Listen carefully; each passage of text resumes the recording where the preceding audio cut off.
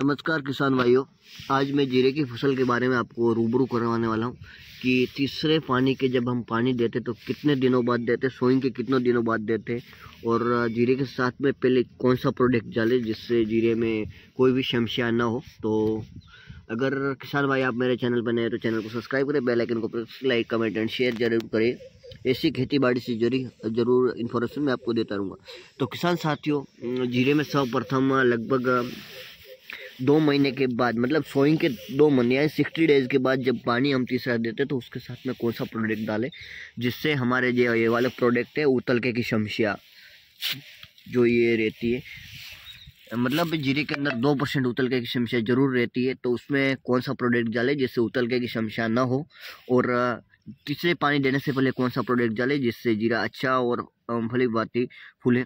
तो आइए किसान भाइयों, मैं आपको बताता हूँ। तो ले चलता हूँ आपके प्रोडक्ट की ओर।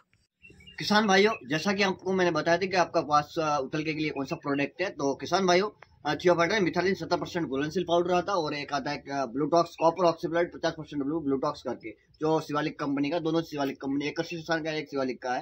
तो किसान साथियों, अगर ये 500 500 ग्राम अगर आप प्रोडक्ट के हिसाब से, प्रति बीघा के हिसाब से अगर आप डालते हो तो उतल के समस्या में hundred and ten percent result आपको मिलता है। किसान भाइयों, पिछली बार भी मैंने मूंगफली में इसी इसी का रिज़ल्ट लिया था और हंड्रेड परसेंट में रिज़ल्ट हम लोगों को मिला था और जीरे में भी हम लोगों को hundred and ten percent result मिला था। और बाकी आपको बताया था कि सिक्सटी डेज़ के बाद कौन सी दवा डाले जिससे जीरे के अंदर प्रोग्रेस और अच्छी पैदावार हम लोगों को मिल सके।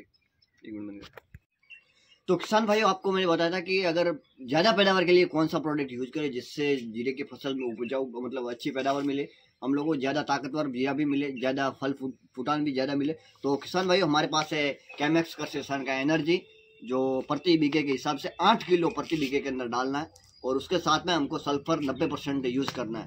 तो किसान भाई आपको मेरी जानकारी कैसी लगी? अगर जानकारी अच्छी लगी तो कमेंट सेक्शन में ज़रूर बताएँ और अधिक से अधिक शेयर करें। जय जवान, जय किसान।